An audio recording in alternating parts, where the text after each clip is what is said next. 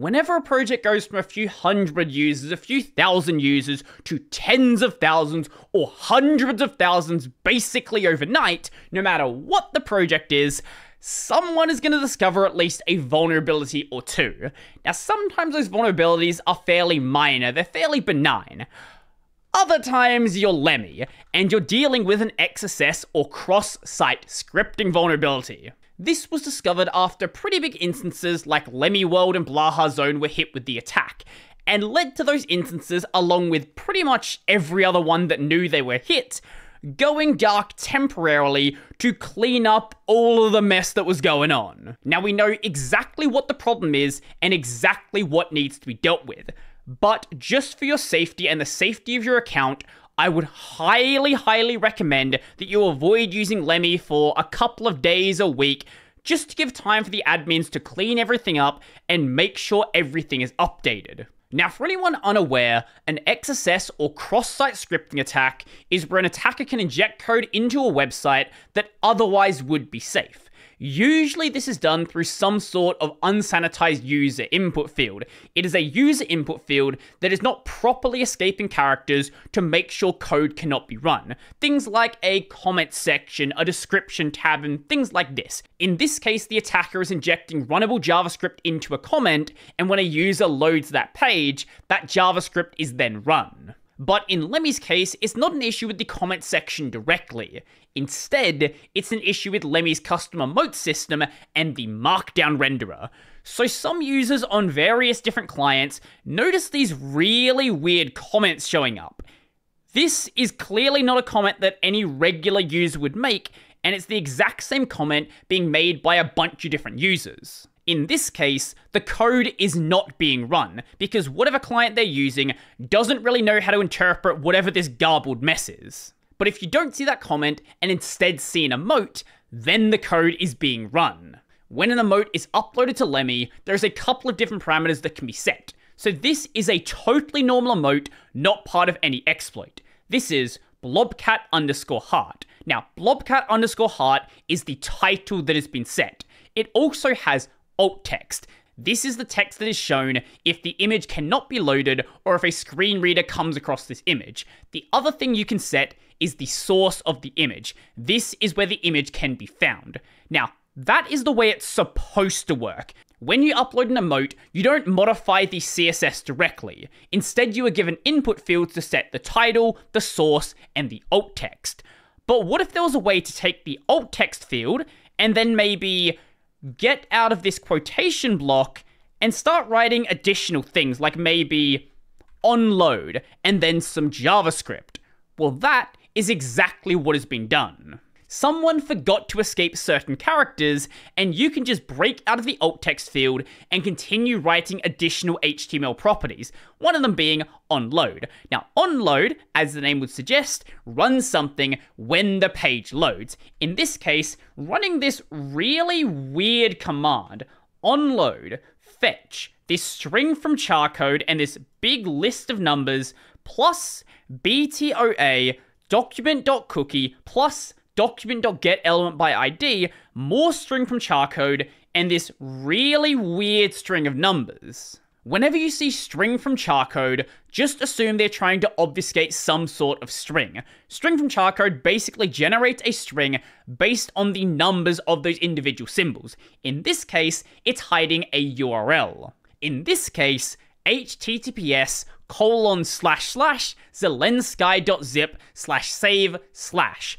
Did I not tell you the only reason .zip is going to exist is for scammers, malware, and hackers? And I've been proven right again. Now, this second string basically translates into nav admin, and you should be very, very concerned when you see document.cookie plus some other element. So it translates into btoa document.cookie plus nav admin, and it's appending that onto the end of the URL. What it is doing is appending the encoded JWT token onto the URL along with whether the cookie says if the user is an admin or not. So not login credentials directly, but the cookie for the current session. If that cookie is on another computer, that user will just be on the account.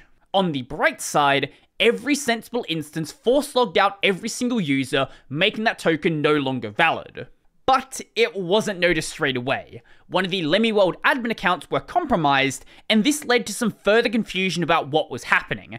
That user on the compromised account then decided to inject further code into the legal page on Lemmy World, leading to people being confused about what the actual problem was. Some people thought there was an issue on the legal page, completely distracting from the actual emote problem. And over on Blahaj Zone, they had the homepage replaced with a YouTube video, which of the things you could do with a cross-site scripting attack is probably the least malicious thing.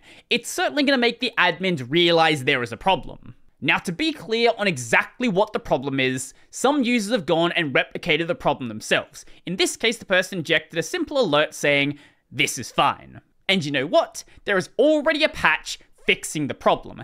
This patch was first made about four hours after the problem was first discovered. Now, the initial version of the fix wasn't exactly perfect, so it went through some revision to try to properly address the issue, but now it has been merged. So, any instance out there should go and install the patch and make sure they are running an absolute up to date version. If you are not running an up to date version, you are putting yourself and your users in danger. The fix itself, though, was very simple. It was a very tiny bit of code that caused the issue. But it's also a fairly obvious problem. The alt text is being set to item.content. There is no additional parsing here, and that text is being put directly into the image tag. This is very easy to break out of. You just need to include some quotation marks, and you're good to go. Do you want to know the funniest part about all of this? Someone sounded the alarms that something like this could be possible about a month ago. Consider using HTTP only for JWT cookie. Is your proposal related to the problem? The JWT cookie can be accessed from JavaScript. If one was to find an XSS vulnerability in Lemmy UI, it could be abused to extract the JWT cookie. Someone found one, and they did exactly that. Using the HTTP only cookie attribute would prevent JavaScript code from accessing the JWT cookie. I do want to address one comment trying to throw blame around for the problem rather than focusing on the issue itself. This seems like a really basic vulnerability that whoever wrote the code to do that probably should have been aware of. It concerns me about the security of the rest of Lemmy if they're making such basic errors. And it's absolutely true, the input should have been sanitized and the problem should have never existed. The user is not to be trusted. This is one of the most basic things I was taught when I was at university. The user is always trying to hack your system, never trust what they write. But it's not always such a simple process. Lemmy's core development team is about four people. Four. For a project that, in some ways, people are trying to make replace Reddit. And there are some passing devs that come by every so often. But when you suddenly have all of these extra eyes on a project, there are going to be some things that you didn't consider, some problems that you just didn't notice that are going to be spotted by all of these extra people using the platform. Some of those users are trying to be malicious. For any of the admins out there who haven't cleaned up this problem yet, who still have these emotes in their database, there is a guide on how to fix this on the issue report for this problem. Basically, it just involves deleting some things from the database, nothing really that complex. All of this is very well explained, and if you're running an instance, it should be pretty easy to do. Now, as I said earlier, I would highly recommend waiting a couple of days before you start actively using Lemmy again. Wait until the changes propagate out to all of the instances, everything has been cleaned up, and then go ahead and do so.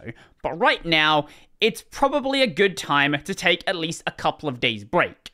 So, let me know your thoughts in the comment section down below. Are you a Lemmy user? Are you just discovering what Lemmy is right now? I know a lot of people out there who have never heard of it. I would love to know. So if you like the video, go like the video. And if you really like the video and you want to become one over these amazing people over here, check out the Patreon to Liberapay linked in the description down below. That's going to be it for me, and let me go.